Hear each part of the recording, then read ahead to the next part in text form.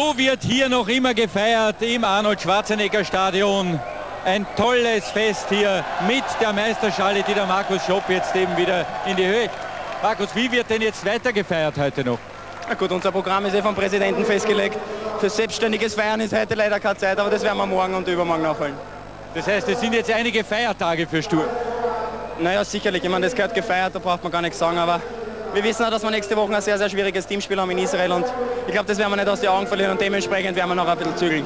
Danke vielmals, Markus Schopp. Und das Schlusswort für den Trainer, für den Fußballweisen Ivica Osip. Dieser zweite Titel, freut sich ja noch mehr als der erste?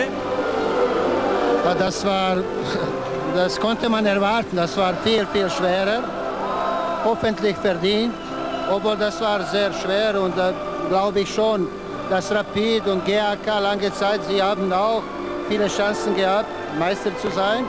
Aber Problem ist schon jetzt, dass wir müssen schon denken, was wird morgen.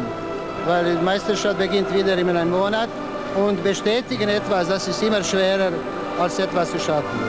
Haas wird äh, den Verein verlassen, voraussichtlich. Was wünschen Sie sich jetzt für Spieler?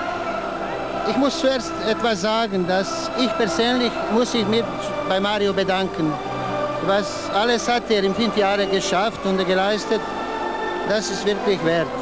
Und für mich persönlich, das ist ziemlich traurig, wenn ein Spieler geht, aus schon bekannten Gründen.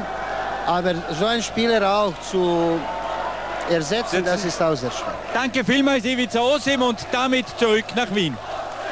Ja, dann danke ich dem Hans Huber, danke Ihnen fürs Zuschauen. Das war die letzte Max-Bundesliga-Sendung dieser Saison. Es geht noch heute Nacht weiter mit den Feiern. Wir zeigen das auch in der Zeit im Bild 3 und morgen natürlich im Sport am Sonntag ab 18.30 Uhr weitere Feierlichkeiten rund um die Meisterschaftsentscheidung. Für heute wünsche ich schönen Abend. Wiederschauen.